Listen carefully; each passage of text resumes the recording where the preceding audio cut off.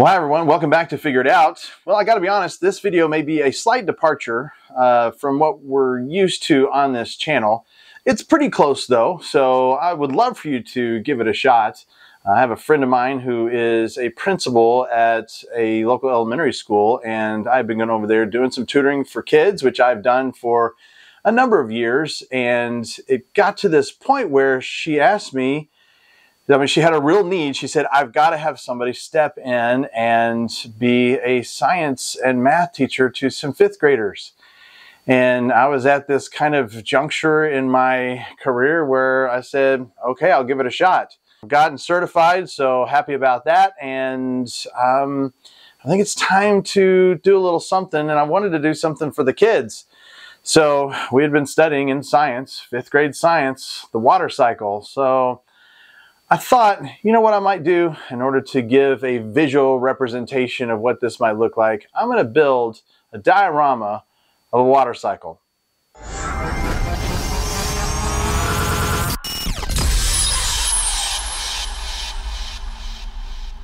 Now you might think, well, what does a water cycle diorama have to do with action figures? And truthfully, not much. I don't know, there's some interesting things that certainly are transferable if you're building a diorama uh, using action figures. And so maybe give it a shot. Let's see how we can build a water cycle. And, and if you're a science teacher, welcome to the channel. We'd love for you to do a water cycle diorama for your kids. Or maybe your students do one for you. So I'm beginning this project using some EPS foam or expanded polystyrene or styrofoam.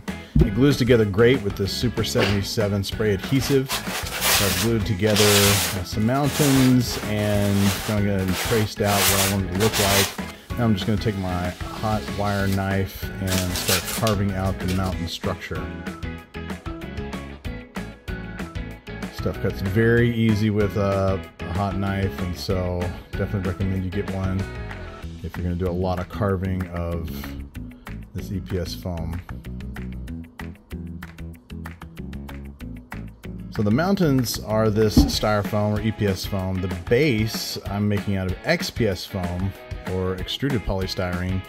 Uh, that's the foam that you can get at Home Depot or Lowe's or a big box uh, store like that. It's usually used for um, like home insulation. So you can see that green piece of XPS foam.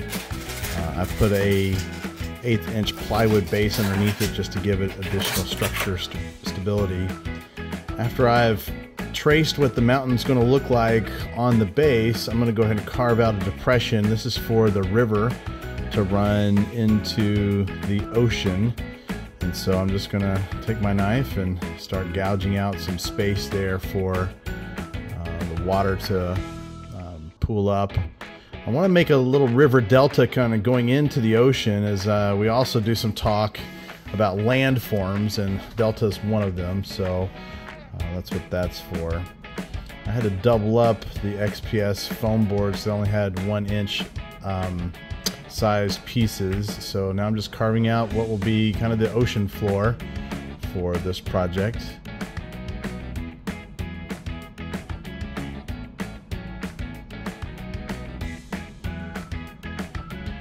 Again, that hot wire knife just makes it a lot easier than doing a regular knife. Well, of course, there's some rough cuts with the knife, so we're going to take the sandpaper and uh, get this cleaned up.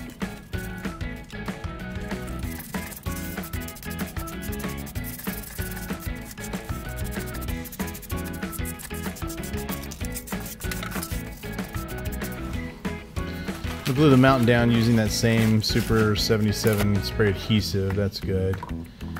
I've got this little scoop that I'm going to use as a sun.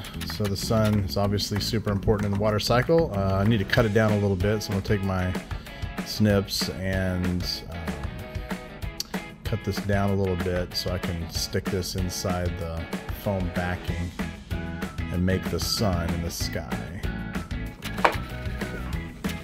I'm to backlight that sun with some LED lights and you can use one of those tea candle lights.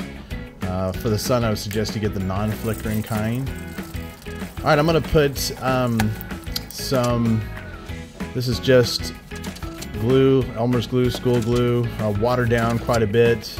Um, and I'm gonna get little squares of toilet paper and I'm gonna start gluing this down. This is gonna give a nice texture to, uh, this is where the water part of the diorama is. And so this is gonna give a nice texture to the bottom of the water. So as you just lay it down, you put a base of glue and then you put some glue on top of it and you can see how it will kind of wrinkle up nicely as you uh, push it down with the brush. For those overlapping parts, the edges, just tap the brush up and down on those edges and they virtually disappear. So you don't want to have a lot of lines in there. So just take those edges and tap them down with the, the, the bristles and uh, they just smush into one another. You definitely have to have enough water in that glue in order to make that work. So be sure you water down sufficiently And you can see a little bit of the delta that I'm forming and the river as it comes off the mountains. Well, to cover the EPS foam, I'm, instead of using that um, toilet paper technique, I'm just going to use some of this cellulose fiber that I've got. I'm going to put in some drywall compound with water and mix it up, and it, it's more rock texture and it goes on very easily. You get it very mud-like uh, to where it'll cling, and it will fill in all the holes of that EPS foam. So you're not gonna, it won't look like styrofoam when we're done with it, but it'll harden. It'll make a very solid surface. There's my sun. I'm just gonna put that on the back. You can see I have those XPS foam backing on there. Just uh, cut a little hole for that sun to fit in and put some lights behind it everything gets painted with this um, this primer that I've made up. It's half um, black latex paint and half uh, matte Mod Podge. And so it's a 50-50 mix. That Mod Podge just hardens up really nicely and then that black, uh, when we paint over that black surface, if you know you ever nick your project or whatever, you're not going to see the white. Uh, you would see it, it basically blends in the black I'm just using a burnt umber, um, little brown as a undercoat for the mountains and the ground, just to start with. We'll come back with a, some other um, colors and textures here in a minute. You know, the point of this project is to not make it to scale. It's not about scale in this. It's about really teaching a little bit about uh, the water cycle. So I'm not worried about how big the mountains are, that sort of thing. I've got the project now laying on its back and I'm going to work on the sky. And I found these gouache paints and uh, they're a little better than the latex. They move around a lot and I'm just putting some on there and trying to create sort of a gradient. Dark at the top because I'm going to demonstrate a storm as a part of the water cycle over there in the uh, top corner, which would be in the bottom corner of your screen. Uh, but top corner in the project over the mountains and then I'm going to try to lighten it. This gouache paint though, I got on sale, was crazy inexpensive, like super cheap, and uh, but it spreads around and and and blends really well. I was very pleased with it. Uh, these are tiny little tubes, but uh, and so I used a lot of it. But man, to make this sky and to kind of blend it like that, I, it turned out really well. I was very pleased with how that paint uh, was able to move around with the brush, and and uh, I think it would do better than that. Um, the paint you get at Walmart. So, but I found that paint at a hobby store in the clearance aisle, and it was so cheap. I bought a ton of it. I'm doing the same kind of gradient with the water uh, of the ocean parts, and I've got the project standing back the way it should normally. On the on the bottom of the water, the ocean, I'm just going to do this light uh, dry brush I'm taking a very light sky blue and I'm coming back just to kind of highlight those those caps, those waves. Again, this is not about scale. It's not about making it look like I'm going to put little fish in there or anything like that. I'm just trying to highlight the water cycle, but I want to dress this up a little bit. Don't make it too flat. And so uh, putting some of those highlights in there with this dry brush technique uh, is very helpful. It kind of makes it pop with color. do the same dry brush, but I'm gonna use a lighter tan color on the mountains just to make those um, those high points really pop out, make it look more like stone. And so you can see those mountains got a very stone-like appearance once we get that dry brush on top of it. After this dry brush, I'm gonna come back here with this dark wash. This is a dark, um, very watered down ink. And so coming back just now we're pulling out some of those low lights and sort of knocking down uh, too much of that uh, highlight texture. Taking some white paint and just kind of thinking, all right, where would snow land? So again, I'm not loading up the brush too heavy, but just uh, tapping some off of my palette and then thinking through, all right, if snow were to land on this mountain, I want some of that brown to come through. Where would it land? And so you can see, I'm just gonna dab that on there. Again, those mountains would be crazy tall if this were to scale, but that's not, not the point. Now I'm taking that um, watered down uh, school glue um, and we're just going to take some, this is grass that I got off of Amazon. Uh, train modelers use it, just putting it in a little sieve there and, and knocking it onto the project. You can see that white coming through, but that all dries clear when it's fully dry. Found some, again, model train trees on Amazon. These are super easy. I wasn't, I could have stopped and made trees, but, but uh, that really wasn't the point of this project. So I wanted to just get something that would look decent. So I found these trees. We're gonna cluster them together here on the base of the mountains, maybe put some up kind of going on the, on the sides of the mountains a little bit but not too much. We're not going to overdo it. It's not about a forest. Uh, we're not doing a ecology thing. We're doing just a little bit of trees at the base just to dress it up a little bit. So now to make some clouds, I've got this pillow stuffing, this polyester fill. So pulling some of this out. We're going to shape it as best we can. I'm to use that same Super 77 spray adhesive and uh, spray the back and just stick them on there. It looks really good once we get that going. So, um, and that spray adhesive works really, really well on a lot of different things. So, I would highly encourage the use of that project uh, product. So, a couple dark clouds there demonstrating rain. I thought to make rain, what I might do is I might want to just use some um, nylon filament or just some fishing line and maybe if I glued a bunch of these up underneath this cloud falling it might look pretty cool or look like rain so this is an arduous part of the project just cutting these to some length and putting a tiny little dab of super glue on the end and shoving it up inside this polyester cloud I didn't like how they were just going every which way. You might think, oh, that looks like a chaotic storm, but I kind of didn't like it. I wanted it to look like sort of uh, rain sweeping down the mountain. And so I made some of them looser on the left-hand side to kind of make it look like there was some motion there. And so I glued them all down. I wanted to pour a res. I've never done resin before, and I thought I'll just use resin for this water so I wanted to figure out how to do that. So I mixed up some resin, glued up the edges there so that it'll keep its form. And uh, this took two pours uh, of the resin that I mixed up. So poured one batch, got about halfway full, and then mixed up a second batch. Uh, and and once this set up, I mixed up a second batch and poured it. I'm not showing that on this video, but you can get the idea. I had a huge panic moment in this. So this first pour, uh, it started leaking there on that um, what looks like on the right side, kind of right there, and I had to jump back in with a lot of glue. And man, when I jumped in with a lot of glue, it really held on to this little Lexan that I had on the end here, and so it wouldn't release like the other side did. Um, so it just took a little bit of, of coaxing to get this thin Lexan uh, off of the resin just because of how much glue I had to put underneath there to hold it on there so it wouldn't just fall out all over the place in my uh, workshop, my studio. So, um, but you want to talk about a heart attack moment? Oh my gosh, it's all leaking out. What do I do? So, but I got it fixed. It's fine, and it, it ended up like I wanted it to. So it looks really cool. That resin does.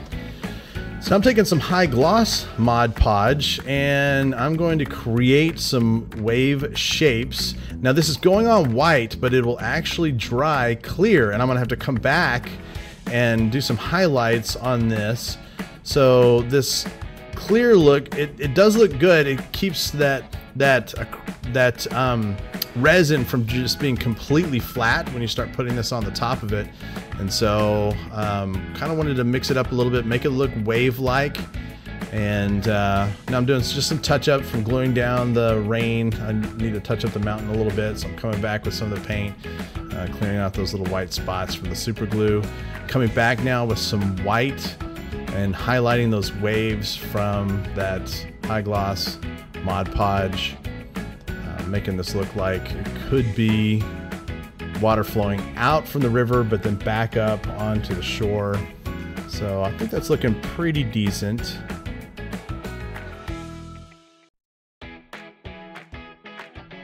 All right, well, I've cut out these arrow signs that I'm going to put on the project that will demonstrate the uh, water cycle itself.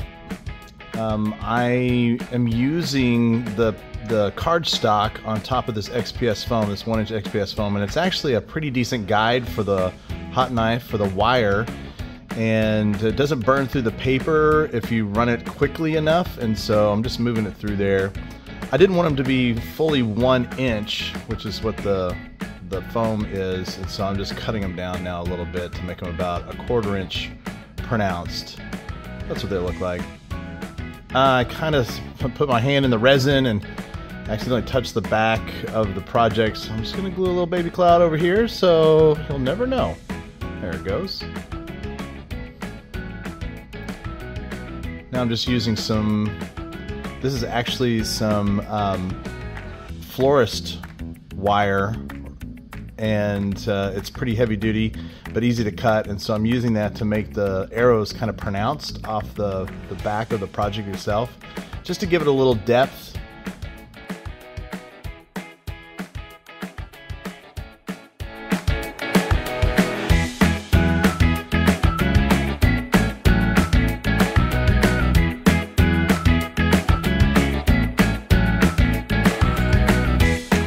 with all the signs in place, we finally got it done. Happy about how like the, the sun and the lightning all turned out. I mean, it has a switch over here, reach all the way over. Uh, you can see this cloud starts to illuminate and flicker and that's to illustrate lightning. And of course I have the sun over here. Um, so just demonstrating the water cycle as we have evaporation moving to condensation, you know, moving toward precipitation and runoff and then back again. So um, you know, I, I, think that that turned out pretty good. The little, um, the little fishing line or the uh, little nylon line that I used to illustrate the rain, uh, it kind of pulls a little bit on this cotton, and so I'm not sure that's the best way to illustrate it. It looks good, but I found that, that uh, this piece is sagging a little bit, and so I've had to sort of glue it up and try to secure it a little bit better.